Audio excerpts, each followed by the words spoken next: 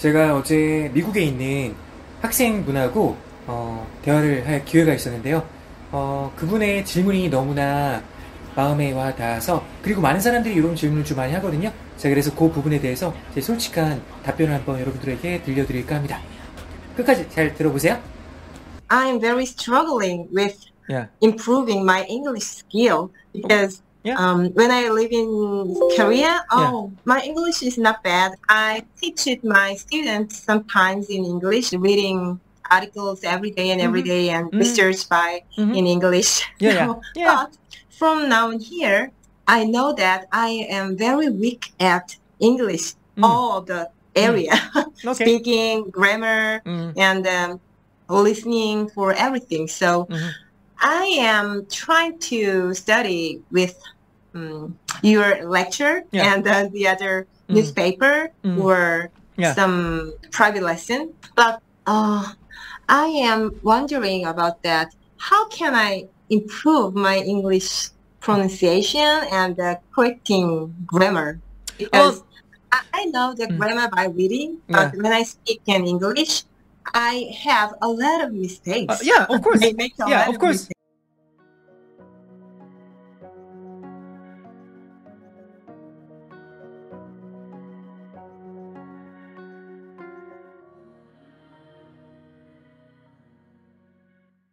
There are four steps, right? When it comes to learning, Mhm. uh, there are 4 Mhm. steps. Uh, the first step is basically you don't even know what you don't know, right? You don't even know what you don't Mhm. know.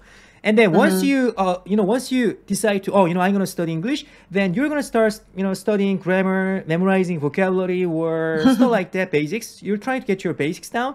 Then you're moving on to second stage, which is, and you start to know that, oh, you know, I'm making a lot of mistakes. You know that you're aware that you're making a lot of mistakes. Yes. Then your confidence goes down, right? You feel Mhm, like you're so incompetent Definitely. yeah. Yeah. you're you feel like you're not confident enough you're not competent enough right so Mhm. that's the stage where we call Mhm. conscious incompetence conscious incompetence Mm. that's second stage right Mhm. conscious Mhm. incompetence oh i'm not good Yes. i know that right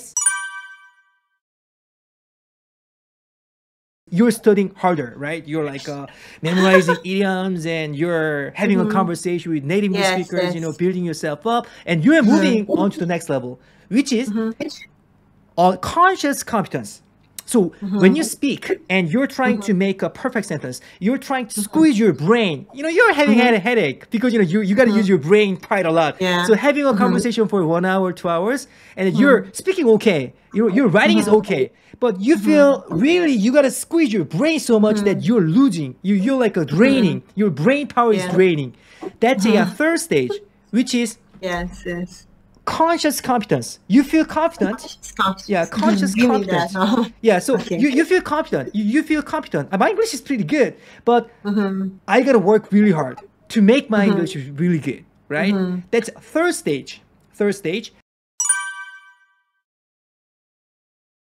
Final stage is basically it's like a native English speaker, right? Wh- Like when you are speaking Korean, for instance, right, and you're born and raised in South Korea for most of your life, right, other than one year uh, in the states. Yes, yes. So your Korean just comes out naturally. You know, you don't have to think too much about what you're gonna say. Yeah.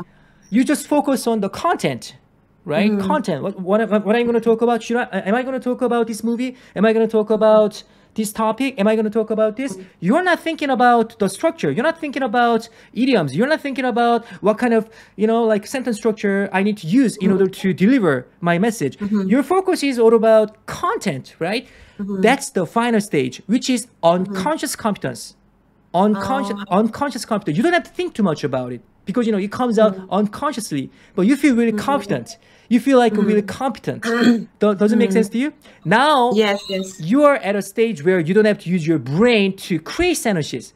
Your focus is more about more about what should I deliver? What's the content?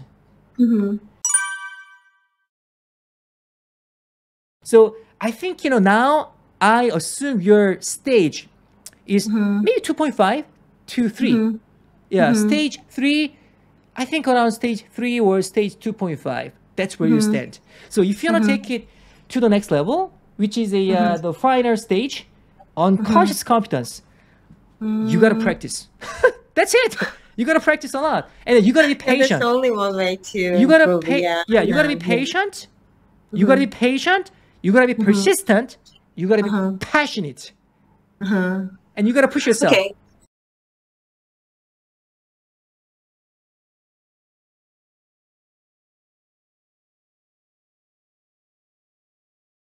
Building new skills or learning things can generally seem like a straightforward process. For the most part, you start off by not being very good at that thing, and then over time, you keep working at it and your competence grows. At face value, this might be how you think about it.